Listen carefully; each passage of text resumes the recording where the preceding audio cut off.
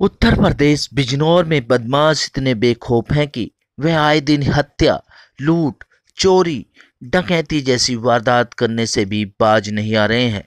मामला बिजनौर इलाके के शोहरा का है, जहाँ पुरानी रंजिश के चलते दबंगों ने एक व्यक्ति की बेरहमी से गोली मारकर हत्या कर दी। ये रोता बिलकता परिवार मृतक राकेश का है, जो उसके गम में रो रो कर आँसू बहा रहा है। बिजनौर इलाके में गवाहों पर हमला, हत्या होना अब आम बात हो चली है। बदमाशों में पुलिस का कोई भय नहीं रह गया है। वहीं परिजनों ने पुलिस पर लापरवाही बरतने का आरोप लगाया है। यदि पुलिस मृतक राकेश को सुरक्षा व्यवस्था मुहैया कराती तो इस तरह राकेश की बेरहमी से हत्या न होती। वहीं इस मामले की गंभीरता को देखते हुए पुलिस ने इस मामले को जल्द से जल्द कार्रवाई करने का भरोसा दिया है।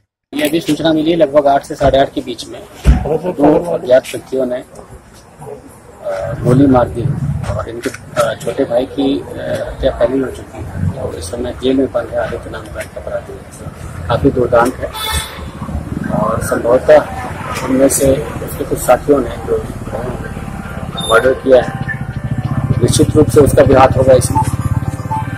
और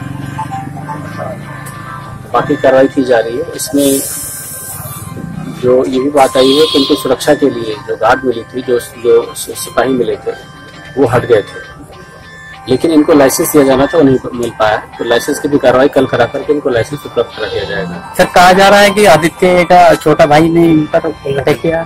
जी अब ये तो जो भी देंगे जाँच से भी आएगा और बाकी जो तहरीर देंगे उसके आधार पर कार्रवाई होगी। लेकिन जो भी इसमें लोग रह गए हैं जिन लोगों को ऐसा दुर्दांत किया है वो निश्चित रूप से बख्शे नहीं वहीं परिजन पुलिस से न्याय की गुहार लगा रहे हैं कि जल्द से जल्द मृतक राकेश के हत्यारे पकड़े जाएँ।